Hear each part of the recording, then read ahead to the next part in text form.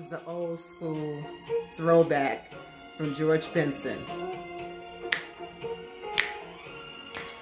And this is my Macy's Calvin Klein asymmetrical zipper winter coat. And we need it in Cincinnati, Ohio right now because it snowed about six inches. And this coat is really warm. It was 21 degrees yesterday and I was burning up in this coat because it has a beautiful plush lining. Faux fur, of course, but just as nice.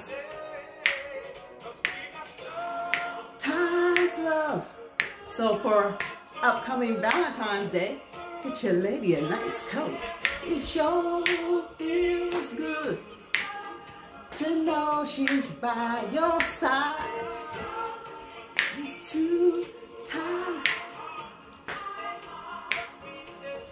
Calvin Klein by Macy's.